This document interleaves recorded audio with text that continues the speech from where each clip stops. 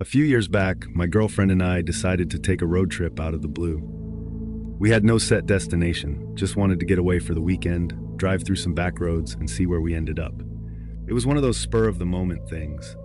I always thought the best trips were the ones you didn't plan for. So we packed up the car, grabbed some snacks, and hit the road on a Friday afternoon. We were in the middle of nowhere pretty quickly.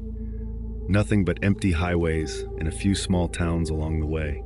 The kind of places where the gas stations look like they haven't been updated since the 80s.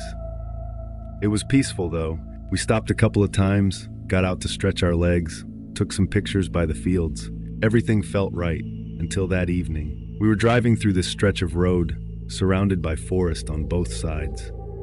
No lights, no signs of life, just trees and darkness. The sun had already set, and the sky was a mix of deep purple and black. That's when we saw an old man standing on the side of the road.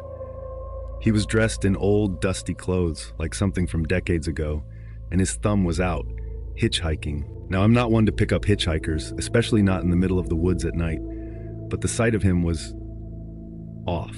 Something about him felt wrong, even at first glance. I glanced at my girlfriend, and she gave me a look that said exactly what I was thinking. Keep driving. So that's exactly what we did. We passed him without slowing down, and for a second I could have sworn he turned to watch us as we went by. I sort of just shook it off, even though I was a bit weirded out. But here's where things get strange. Maybe 20 minutes later, we're driving through this same stretch of empty road, and up ahead, there he is again. The same old man, same clothes, standing in the same position with his thumb out, as if we hadn't just passed him. There's no way he could have gotten ahead of us.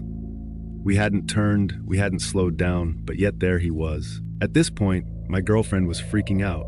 She asked me to speed up, so I did. We passed him again, and I made sure not to look at him this time. The road kept going, dark and empty, and I just wanted to find a motel or something to stop for the night.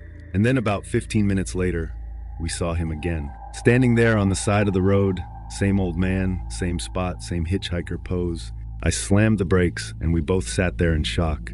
There was no way, no way, that this guy could have been in front of us again. We hadn't passed any roads or cars, and there was nowhere for him to have gotten ahead. We stared at him for a good few seconds before I snapped out of it and hit the gas, speeding past him again.